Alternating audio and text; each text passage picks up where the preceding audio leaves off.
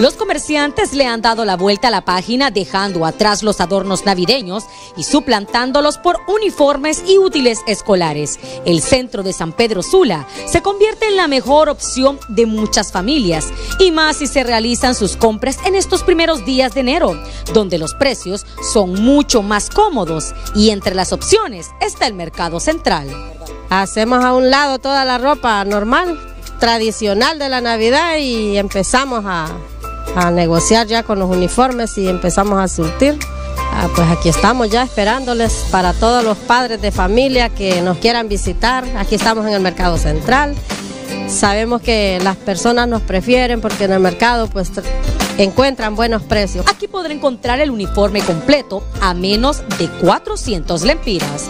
Bien, ahora anote usted porque le daremos los precios baratos que usted puede conseguir aquí en el Mercado Central. Tenemos dos de los uniformes que más se compran aquí en el norte del país. Doña Teodolinda, por ejemplo, este uniforme que es uno de los cuballera azul y su falda también azul, ¿cuál es el precio? Ese uniforme que eh, le, saldría en total 380. 380. Y este que es otro, obviamente, el que más se compra, cuballera blanca y falda azul, ¿en cuánto sale? Ese le sale en 300 lempiras. A este 300 lempiras, si le agregamos un par de calcetas, por ejemplo, ¿cuánto aumentaría el costo? Serían 350. 350 lempiras. Así que ya lo ha escuchado usted. Aquí en el mercado central encontrará grandes opciones que le harán ahorrar a su bolsillo. Ahora nos moveremos a una de las librerías más concurridas de la ciudad, La Popular. Hemos llegado ahora a la librería popular, siempre aquí en el Mercado Central. Vamos a adentrarnos por acá para platicar con Don Santos. Don Santos, ¿qué tal? ¿Cómo ha estado? No, estoy bien, gracias. Bueno, vamos a en este momento a mencionarle a los televidentes de HCH cuáles son los precios en este kit escolar que es el básico, podríamos decir, que se utiliza en los centros escolares. Sí, este es el, más básico, este que mira usted aquí. Podría ser, por ejemplo, para un joven de primer curso, segundo curso. Primero y segundo curso, sí. O sexto y séptimo grado. También séptimo grado, sí. Estos cuadernos únicos, ¿cuál es el costo? Mire, esto, este cuaderno espiral le cuesta a 16 lempiras. 16 lempiras, bastante cómodo. Bastante cómodo, sí. Por ejemplo, lo que es el bote de pegamento, eh, el juego de reglas, marcadores, ¿en cuánto anda?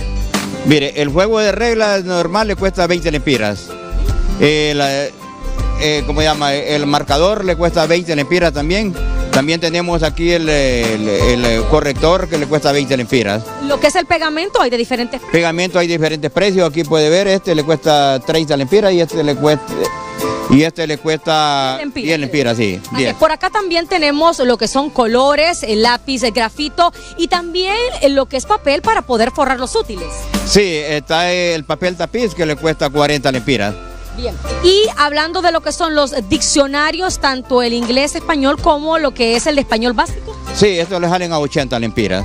En nuestro recorrido llegamos también a conversar con quienes venden el calzado y esperan que las ventas comiencen a subir porque la inversión de ellos es diaria. Tenemos eh, variados los precios, como le digo, calzado para varón, para hembra, eh, bueno, como ellos lo quieran pues. ¿En cuánto anda más o menos el precio del calzado? Eh, hay de 150, 300, dependiendo de la calidad.